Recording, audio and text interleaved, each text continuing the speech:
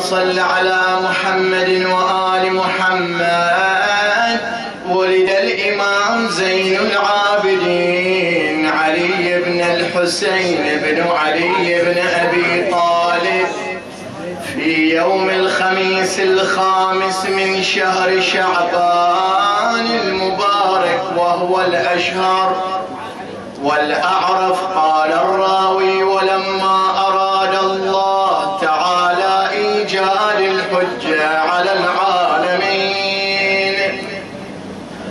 النور المضيء والطاهر الزكي أمر الله عز وجل. ملكا من الملائكة المقربين أن يأخذ شربة من حيوان من ماء الحيوان ويجعلها تحت عرشه وينزل بها صنعة يد القدرة السبحانية لأنه جل جلاله بإرادته يخلق من ذلك الماء أرواح الأئمة عليهم السلام. إكراما لهم وتعظيما لشأنهم قال ثم أن الملك أمره الله تعالى بالنزول إلى الإمام بتلك الشربة فنزل بها وهو فرح مسرور. ودفعها للحسين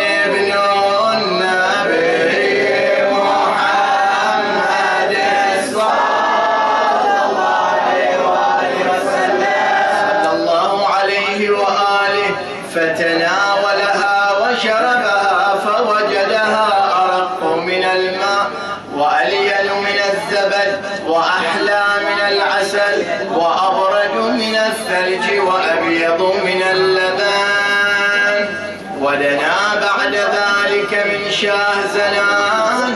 كانت الهواتف تهتف بها فتسمعها وتقول أبشري يا شاه زنان وقري عينا بغلام عليم. وظهر لها في الليلة التي ولدت فيها نورا رأته ممتد من السماء إلى الأرض لم يره غيرها إلا أبوه الحسين بن النبي محمد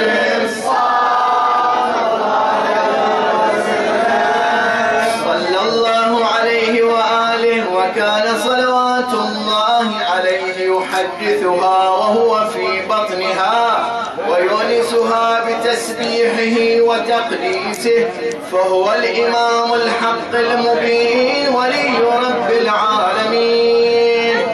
مفتاح الحكمة ومصباح الرحمة والكوكب الزاهر والعنصر الطاهر والبحر الزاخر والنسب العلي والنور السني والوجه المضيء عرش المناقب. أبي محمد علي بن الحسين ابن أبي طالب.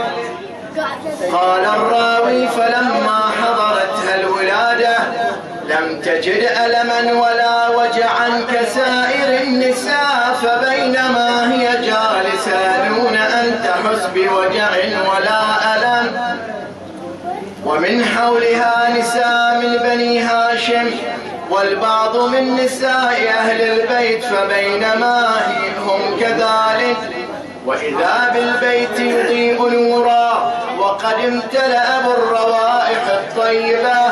تقول إحدى الجالسات فأخذتني فترة وأخذتها فترة وهي قد وضعت بولدها الإمام.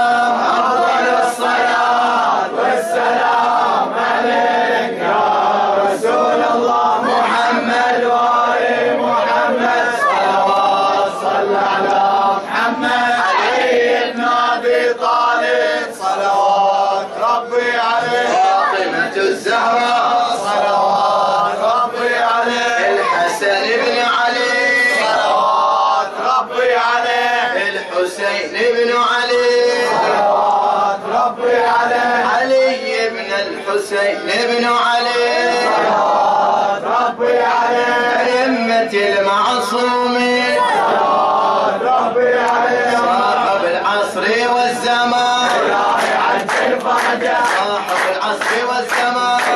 عجل فرجه الخضر يا أبو محمد. بيض الله. اللهم صل على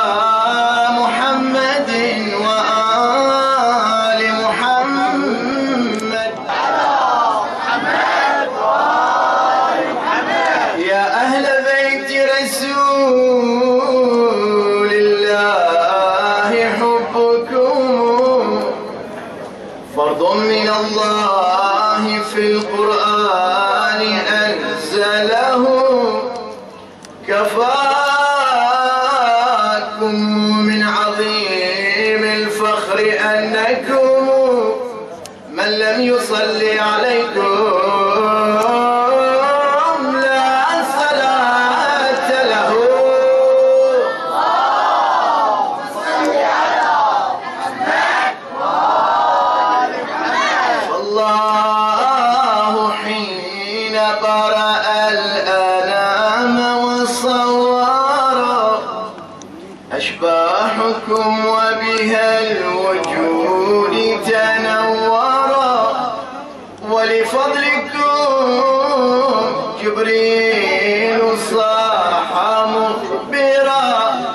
أخذت مواثيق الولاء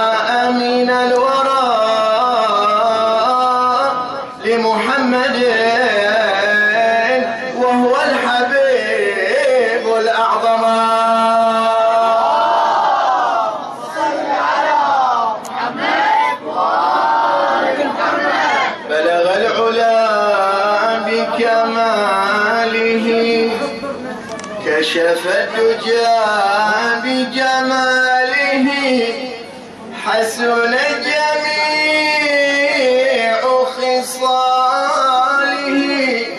صلوا عليه وآله.